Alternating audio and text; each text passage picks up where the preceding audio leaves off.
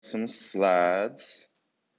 Um, we're going to be talking about a bunch of stuff, you know, MVC, um, separating everything into their own uh, isolated concerns. Just as a reminder, in the actual unit, um, there's this Knex MVC template, and when you click on it, um, you have this repository here available for you, so that way um, you don't have to do all the grunt work of setting up all the files, all the directories, and everything. So don't forget about this repository it makes it really easy to just get off the ground really quick using uh, Knex, MVC, and all that stuff that we know that we're familiar with. So just to kind of go back over, we're all familiar with like CRUD, you know, um, create, read, update, delete, destroy. Um, these are just some examples, you know, HTTP verbs that we've been working with. Um, and then we're going to be talking about handling changes on the client briefly. When the client receives a response, that response might include some new data which affects the current status of the program. We're all familiar with that. You know, maybe a client clicks on a certain link and then you have to generate a new view file. Because of the change of the program status, some variables that are being presented by components might need to re-render themselves to represent the new data. So um, when we're talking about components in this context, we're just simply saying our views. So depending on what the user clicks on, what they input, when you re-render a view, the information might have changed or maybe it's manipulated in some way. So we want to make sure that when the user interacts with your application, that the components that are displaying that data or are operating off of the data uh, actually change and re-render and show that to the client. So application state, what is that? Variables which trigger a re-rendering of their components upon change are known as state. So this is essentially just keeping track of all of the variables in an isolated instance that you know you need to keep track of. Maybe like um, if a user is logged in, for instance, that's something that you don't want disappearing if you go to a different page because then all of a sudden they have access to routes that they don't that they shouldn't have and all that. So generally not considered good to uh, change the state outside of you know triggering specifically exactly what you want to happen. And not all state changes need to be re-rendered immediately to the screen. Some frameworks distinguish state variables in this category in order to offer a simplified version of the interface. So just because your state changes doesn't mean that everything needs to re-render. This is something that you guys are going to get more practice with, especially with React. This is uh, pertaining a little bit more to React, but still makes sense in the context of what we're talking about.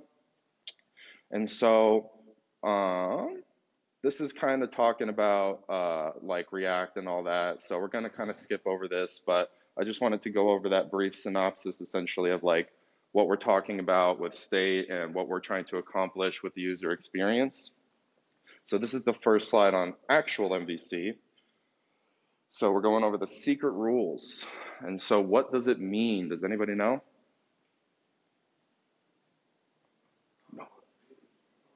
Boom, model view controller, correct. So it stands for three essentially separated individual concerns. Um, the model is going to be talking to the database, the view is going to be serving the data to the user, and the controller is kind of like in between making sure that everything is kind of moving back and forth um, as intended, as expected. So in practice, we most often use the term to describe software architecture or frameworks. Um, generally, it's not actually like a program or like a like MVC is more of like a um, you know a development um, idea or paradigm. It's it's more so like you know dry code versus wet code. MVC isn't really like a program you can install. It's just like a development workflow that you can follow or the way that you would structure your repositories or, pro, or projects or programs. So it's not actually a specific one thing. It's just a, a paradigm of how you should be um, setting up your code and structuring everything. So MVC architecture, a proposal for how to organize code in the user-facing application. So we're going to be breaking apart everything, making sure that everything is separated based upon exactly what its functionality is meant to do. We'll get into that in a little bit. It has uh, multiple interpretations historically. Um, like I said, it's more so just of like an idea or a concept rather than an actual technology. And it sorts into three separate types of object class components, uh, models, views, and controllers. Oh, and there you go. So uh, we have the model which manages the program state. We're familiar with this with like Knex um, and the DB. That's essentially our model at this time where we're using Knex to communicate with the data that we have in our tables and making sure that we're serving the correct data based upon the parameters and conditionals that we're writing. The view is obviously what uh, eventually the client ends up viewing and um, interacting with and all that. And then the controller receives the input from the user and then will um, will operate changes based upon whatever the user input. We're pretty familiar with this by creating, you know, our routes and, you know, moving around and stuff like that inside of our applications. So we're going to be using an MVC framework, which is a library that lets, uh, pardon me, that helps you write code in the MVC style of architecture. So it's the MVC style. Again, it's more of a concept. And we can do some things automatically since it knows you'll be writing in that style. So how does it help us? Using the three components allows for separation of concerns. So as I said before, this is going to make it a lot easier for programming once you're done setting everything up, setting everything up can be a little cumbersome at first, but once you finally have everything separated and ready to go, this makes it a lot easier to just kind of jump in and start creating routes, start creating views, make it so that you have like more functionality in your application and it does it in a very organized and easy to understand way once you finally grasp the concept of MVC. So there's limits on interactions between modules of different types of components, limits on interactions between modules within a type of component, and um, when we're breaking each component into many modules, this allows reasoning and isolation. So again, we're trying to completely take our app and separate it into things or, or files or you know functions where it only is operating where it is specifically required or where it's it makes sense to in that context. Whereas previously we had our server file and it was completely bloated with all of this Knex calls and all these routes and all that, you know, it kind of gets bloated, hard to understand, hard to read. Now we're going to be separating all of that and making sure that when we're creating our applications, we know exactly where to go to see the routes. We know exactly where to go to see exactly what the functionality is happening when we hit that route. And we can um, go in and customize our views as we see fit after it receives the information that we render the page with. So static analysis limits on code. So for example, code for different view models lives in different files without references to each other. So again, we're isolating everything. We're making sure that when this page loads, it's loading based upon the functionality I wrote in this one file and it's not communicating with anything else. That's our goal is we don't want other files communicating with other files that they don't need to be because that bloats everything. It introduces, you know, errors that otherwise wouldn't be there if it wasn't trying to reference a bunch of different files. So we want to keep everything isolated um, apart from one another and uh, runtime limits on objects. Uh, so different view objects will have limited access to other view objects. So in this context, um, it's a little bit more, I would say like leaning on like React or Angular, but essentially um, in the future, we'll have different views inside different views, and then we'll have it so that if the parent view has some sort of state change, then the child view can change and re-render different information. So right now, we're not going to be worrying about this too much, but just know that it's possible to also have like nested views inside of each other that conditionally render based upon how you have your controller set up and all that jazz. So the MVC interaction, this is a funny slide. Uh, there's the model. And next slide. So why would I want a model instance? It will represent an encapsulation of related data and behavior. So like I said, with our Knex, we're, we're going to be storing and referencing the state data of our application as we're using it. So a model instance should be able to have relationships to other model instances, perhaps represented as properties. Intervene on property access to facilitate binding. This is optional. Um, again, this is where you would have like the parent container with the child container and the child container is bound to the parent. And then like once the parent sees that something needs to be re-rendered, then it would re-render the child component. That would be binding. Uh, provide an uh, venting interface. Again, this is optional, but you know, if like some sort of event happens, then you can specifically run some sort of functionality or logic. What it should never do is have any knowledge uh, pardon me, have knowledge of any more other models than necessary. So again, we, are trying to isolate our concerns. We're trying to make it so that when a user is being served a, a specific view file, that that view file is only touching functionality and logic pertaining to that one file. We don't want our model instance to have knowledge of any other views that it doesn't pertain to whatsoever. And so now we're going to talk about collection instances. So a collection instance would be to get the same benefits as a model instance, but provide some array-like features. And not all MVC frameworks provide collections, but some of them do. I don't know off the top of my head. So an MVC interaction, we have this model, we have our Knex. What would happen in this is we would generate the view and then that would go to the DOM and actually generate our view files. So when, when we use the model, we tell the view, hey, uh, here's all this information. I need you to render this page now. And so once it gets that information, then the view actually talks to the DOM and starts generating all of these elements that we created based upon how you specified it in the views file using EJS.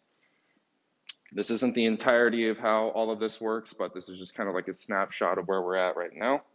So why would we want a view instance? I think we can kind of uh, figure that one out on our own, but essentially it will represent the mapping of one model instance to another on-screen uh, rectangle, essentially just re-rendering other components, other views based upon conditionals we're setting, essentially. And it's a map from abstract truth to user experience. So what this means is we're going to be having the state stored for the user, and as the user is interacting with the, the state, it's going to be mutating it and changing it as far as like how it pertains to them. So it's kind of abstracted. It's not an absolute source of truth, but it's their version of the truth that we set up for them to interact with. A view instance should also correspond with a single DOM node. This essentially just means one document. Um, you don't ever want to have like you know, one view that is supposed to be like two pages um, for obvious reasons. So not all DOM nodes have associated view instances. Maybe you have like a very small like hyperlink uh, as a view for, for some reason. Um, that doesn't necessarily need to have an associated view instance. It would just be you click on the hyperlink and you're done. Compose itself out of subviews. So, you know, the parent children relationship that we spoke about before.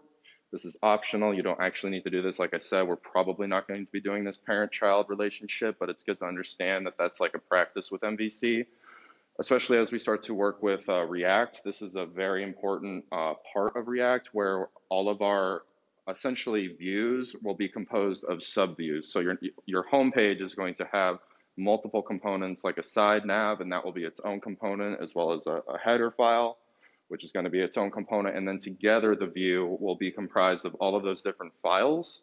But at this moment, we're working with Express. We don't have to worry about that too much, but it is a principle of MVC overall. Um, possibly keeping references to uh, the subviews, parent-child relationship again, listening for events to maybe render a different page or display any relevant information that the user may want from the database. We want to avoid model instances depending on view instances. So we want to be generating the views based off of the controller. We do not want to be using the model necessarily to be generating the views. And uh, we are going to be setting up a controller for user input, or optionally, we can have a controller itself act as the in-between uh, of the model and the view. So, or you could have a view necessarily act as a controller itself. I've, I have not seen this in practice, but it's certainly possible. View instance should never have any knowledge of sibling views. So when, I'm, when we're talking about sibling views, obviously we're talking about um, related views that don't necessarily pertain to one another. It's not talking about the parent to child relationship. So when it says it should never have sibling views, again, we don't want like two view pages associated with like one route. We want to make sure that everything is isolated and concern and that everything has its own completely separated uh, concerns and functionality from everything else. We never want to run a full search of the DOM as we're loading the page. Uh, uh, we don't want the child node to have knowledge of its parent view because we want the parent to be overall controlling the child view. Optional. And uh, it should never have any knowledge of any models other than the one that it is projecting, again, isolation. So before I continue on, that was quite a bit of information. Does anybody have questions as far as what I just talked about? Anthony?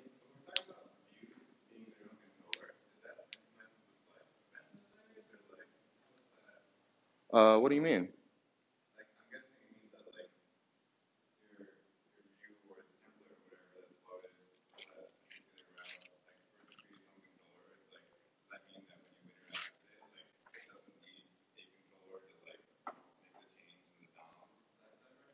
Essentially, you don't want the view to be the controller. The view will be uh, essentially a route. Well, pardon me. The view will contain a route like a hyperlink, like we're used to, that will actually send a request to the controller. And then at that point, the controller will make the appropriate request and then communicate with the database and then re-render a different view page. Is that good? Does that make sense? It's Monday. I'm really tired, guys. I'm sorry. hopefully I'm, I'm explaining this uh, the best the best I can. Um, but yeah, once at, at, first it's a little daunting, but once you get the idea of exactly what's going on, it's it's really really easy. Um, it's just like the initial understanding and the, the first aha moment that's kind of hard to grasp as far as like when you're first jumping into MVC. Are there any other questions, Seth? Um, essentially, you wouldn't want to have a view page like um, running a for loop and checking for every single like p tag or anything like that. Yeah, so like it, you don't want to have like a for loop searching the entire DOM object. Essentially, is what they were saying by that. Any other questions before I move on? All right, awesome.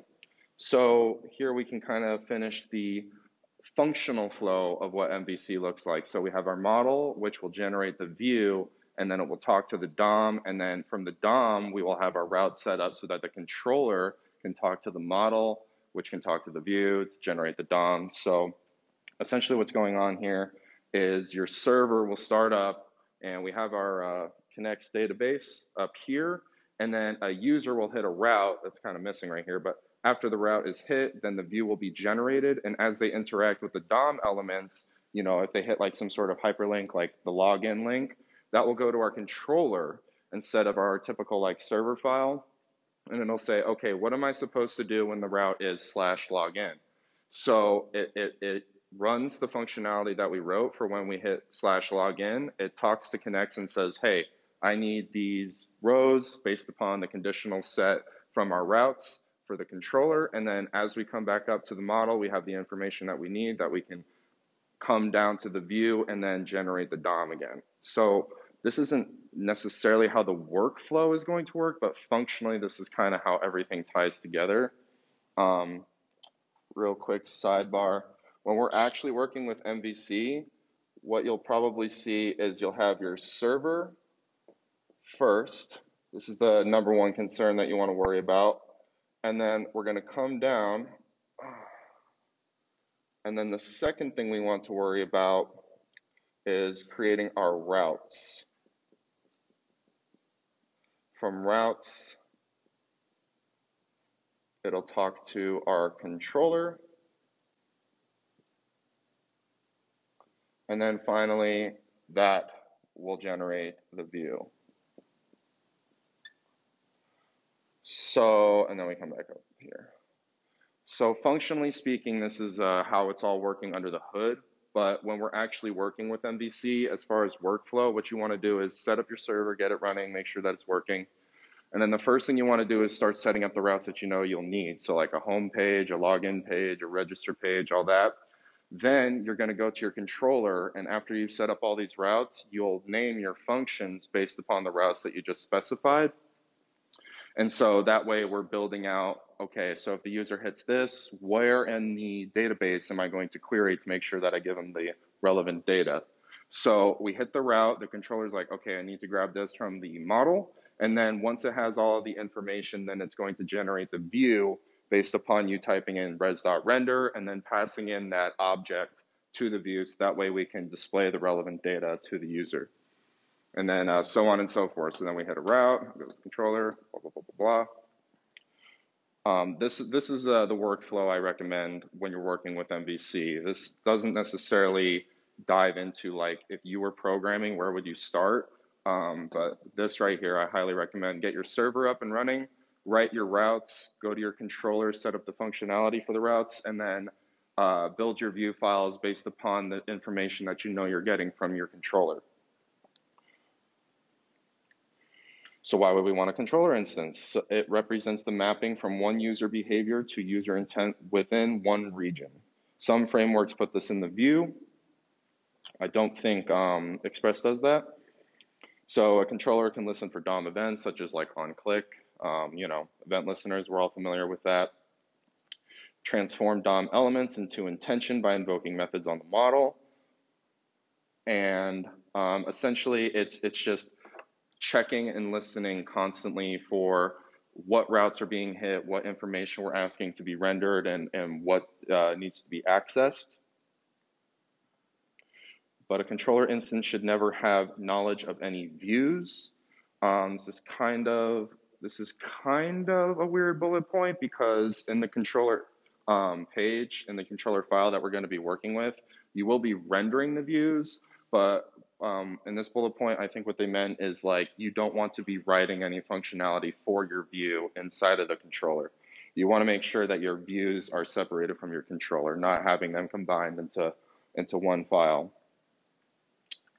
And we don't want our controller instance to have knowledge of more models than the one that it was given at construction time, for obvious reasons. Be a dumping ground for homeless logic. Obviously, I think that applies to like everything we do. Um, you don't want to be just dumping random information that you think will be useful at one time, but then never ends up being useful. We want to make sure that we're setting up our controller instances so that it's doing exactly what we anticipate it to, and it's also um, not touching anything other than what we anticipated to work with.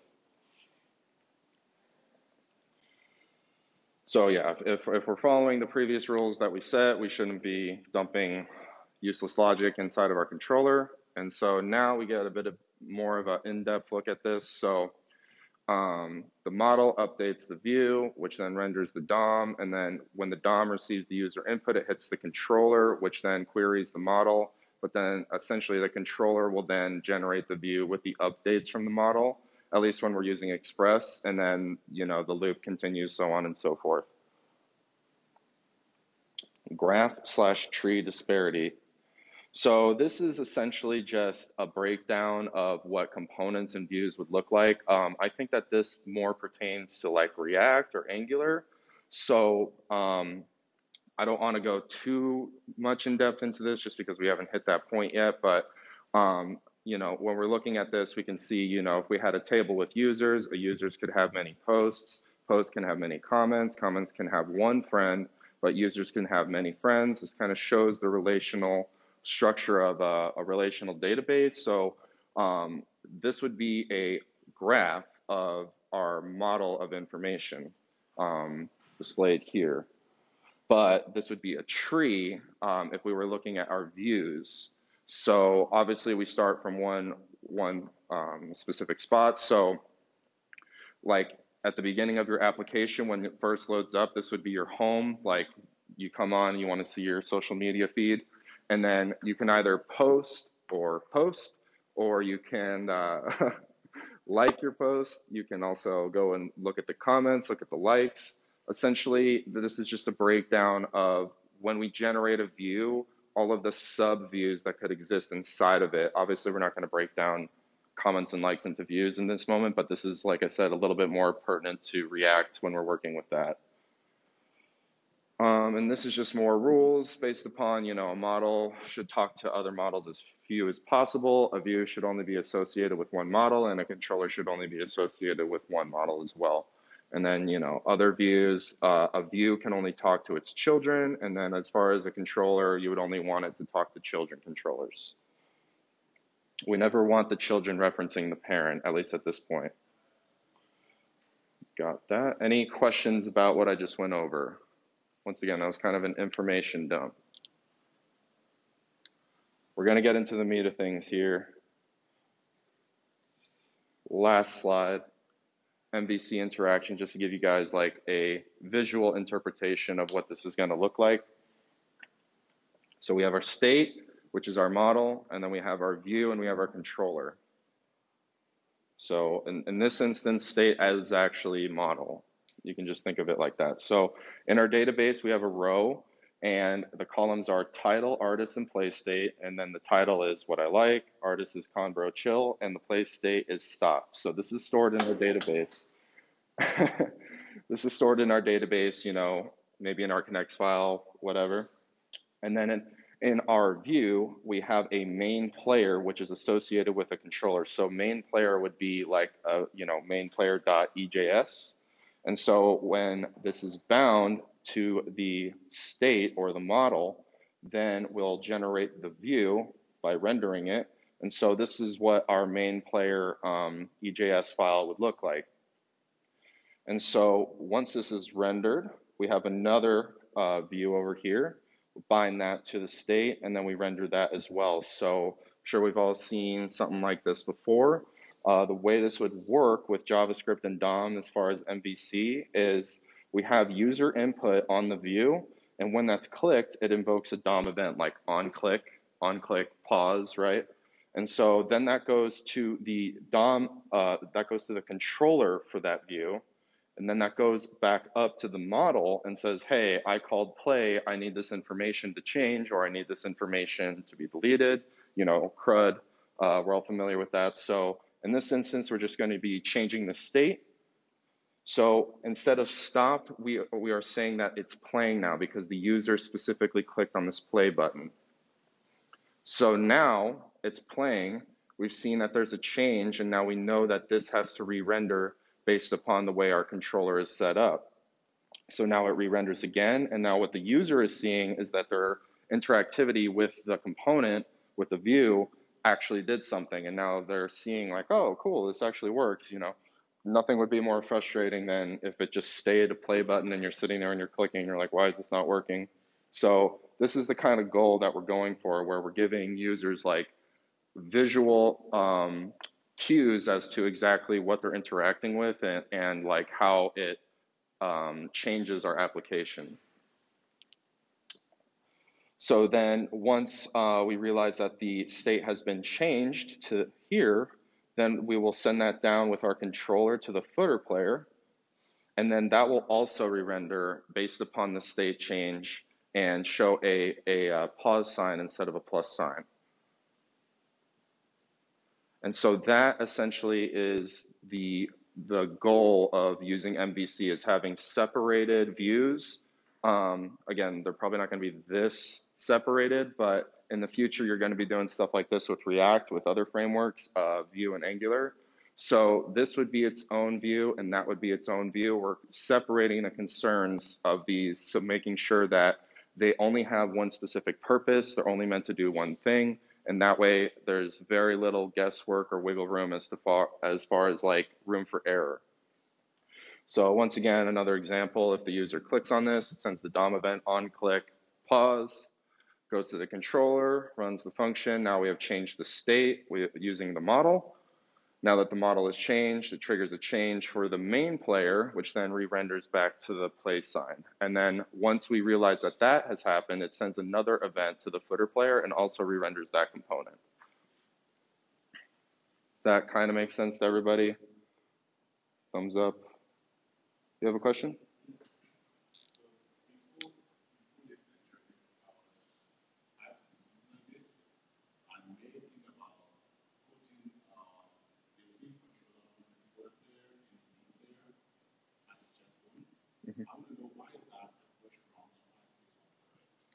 Um, that's not necessarily wrong. That's why I, I, was trying to say with the caveat that this is probably more pertinent to React and like other frameworks that we're going to be working with in the future. Um, this would be more so like if you could think of this as one view page. So this is like your home page. And then when you click on the home button, it sends that home button thing up here. And then changes the state as necessary, and then it will re-render another page. Instead, so this is this is a little abstracted. We're not going to be working with components or views this small, but this is just an example of like the functionality flow of MVC.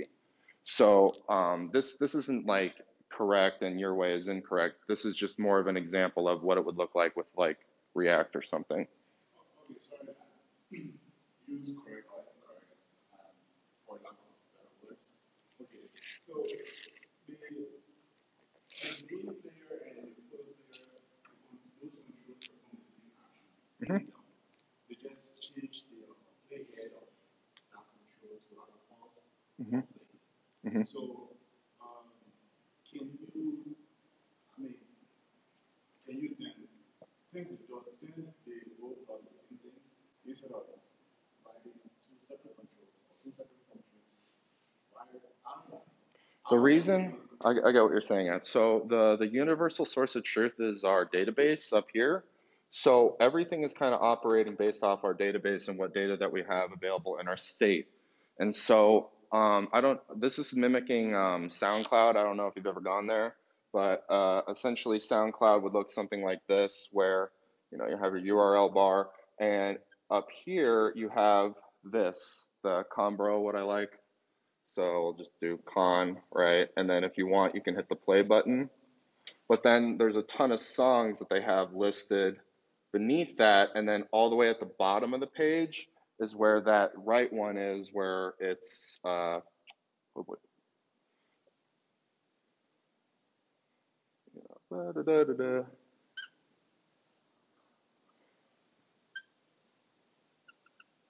And so what you can do on SoundCloud is you can click this button up here and start playing this song, and then you can keep scrolling down the page and lose sight of this. But then if you wanted to stop the song, there's this additional player on the bottom. So there's still separated concerns where they're going off this universal source of truth, where it's like, are we playing the song? If it's not playing the song, this changes to a play symbol, and then this changes to a play symbol based on two different controller functions. But then when we click play again, then it will run those two different controller functions and change the state of those two of those two components of those two views. Does that make a little more sense? Cool, awesome. Uh, any other questions before I move on? Good. Cool. So yeah, that's it. Boom. Um, I can show you guys like an example of what this would look like. Let's pull that up. Oh boy. I'll clear that out. So this is just one view page that I have. Um, we don't want to see the views though. So I just wanted to give you guys an example of what I was talking about up here. So number one, the first thing that we want to do is set up our server. So we have all of that boilerplate, we, you know, so you don't need to write this yourself. Make sure you go to the boilerplate and use that. But this is our server.js. We're no longer putting all of our routes in here. Um, I'm sure some of us are kind of used to that, um, but now it's required. So the only difference you might notice is we have this sessions, routes.sessions, and then down here we have the route setter it requires routes.js. So as I said, set up our server and now we're setting up our routes. So let's go over to routes. Very, very easy to look at, right? Very easy to understand. This is the entire file. Let me scroll down. Oh, like this entire page can fit on one on one screen, right? It's very easy to understand exactly what's going on. You know, we have our login register page, we have book an appointment, we have login. Uh, if you want to edit one of the appointments you booked, um, and then success if you know you actually posted a, a correct appointment. And then right below that, um, some of you may have seen this, but this is essentially safeguarding all of the other routes below this uh, using somewhat of like a middleware. And we're saying that auth requires there to be a rec.session.docid. And if there's not, then uh, we're going to just redirect them back to the home page. And so I can show you guys an example of what this would look like, but not before showing you what sessions is. So sessions essentially is a, uh, Knex um, additional module that you can use to essentially store user um, state while they're logged in. And so again, the boilerplate in the unit has all of this in there for you, but just a quick brief um, showing of what's going on.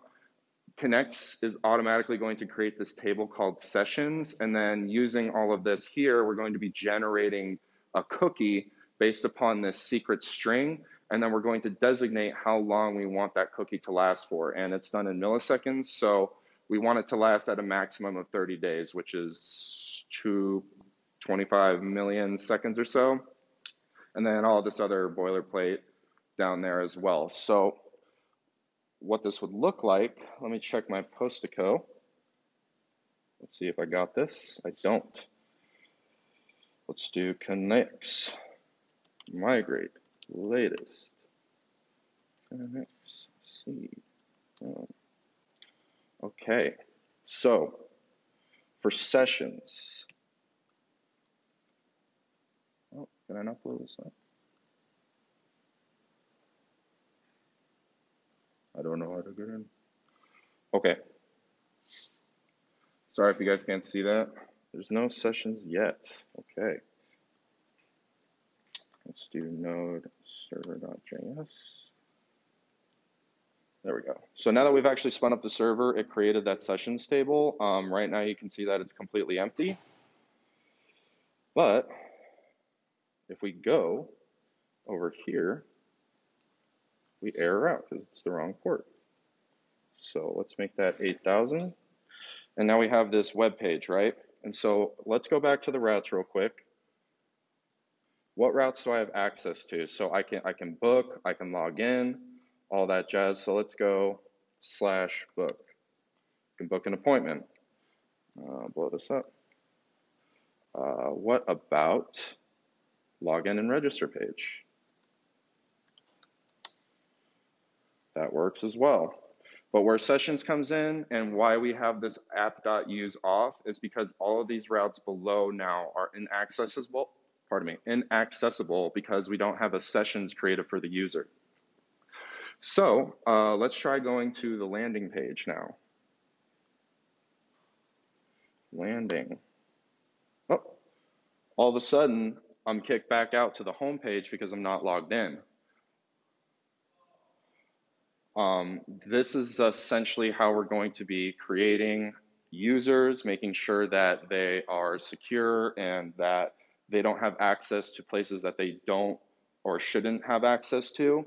And it's really, really useful for um, setting up and making sure that you, your app is bug free and that they're not seeing or viewing anything that they shouldn't be able to. So now let's create a session. I already created this user um, using Knex. Oops, that's just a Boom. So now we're actually at that landing page. Oh, it doesn't blow up the, the URL. But this is essentially what the landing page looks like. And now we have full access to all of the routes below auth because we have a rec.session. And I will actually show you that. So if we come into session, once again, it's empty after I logged in, it created this giant cookie. You see that? And it says that the age is 25 million. It expires on this day.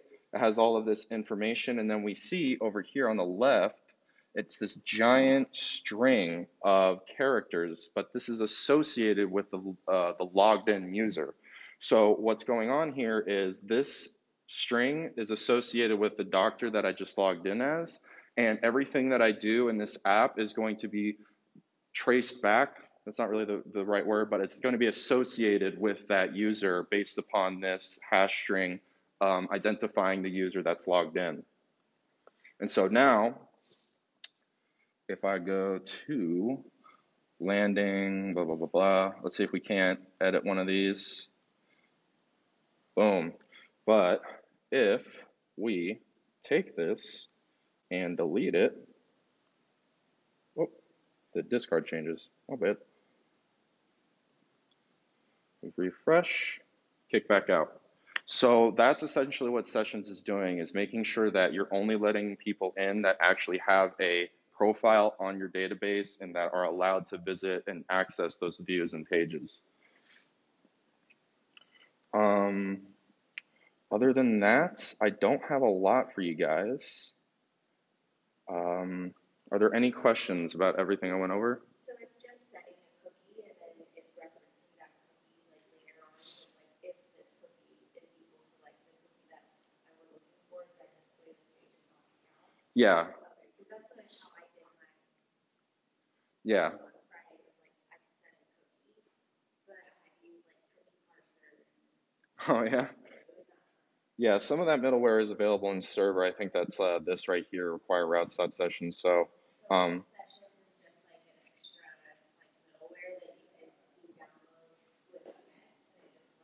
it works with Knex, but I believe it's an Express um, module. So it works in tandem with uh, with Knex, but um, it's actually Express session. And then this is again all in that um, boilerplate in that repository. But this is essentially just yeah making sure that the person that's logged in is essentially being tracked in exactly what they're doing and how they're interacting with the website.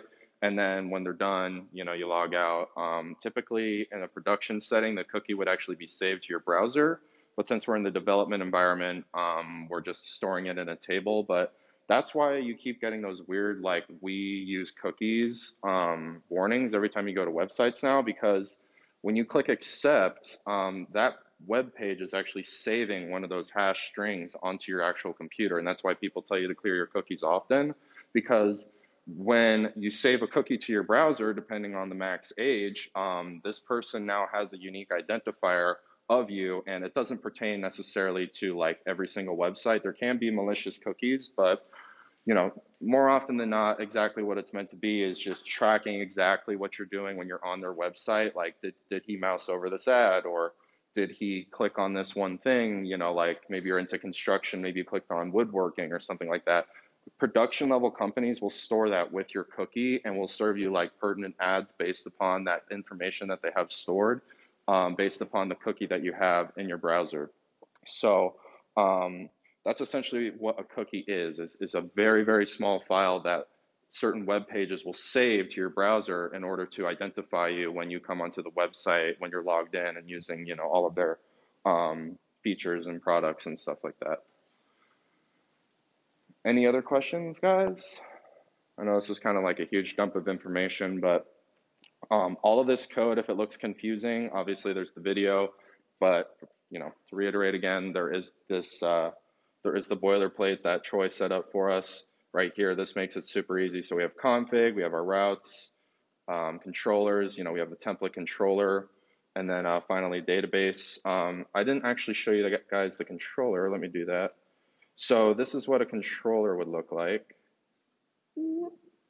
Um, it looks really, really similar to what we've been doing uh, as far as setting our routes, right? But we want to separate our routes and our controllers. We want our routes, whoops, we, are, we want our routes to look for a specific um, route, look for a specific request, and then call our controller and then actually run that function that we specify it to.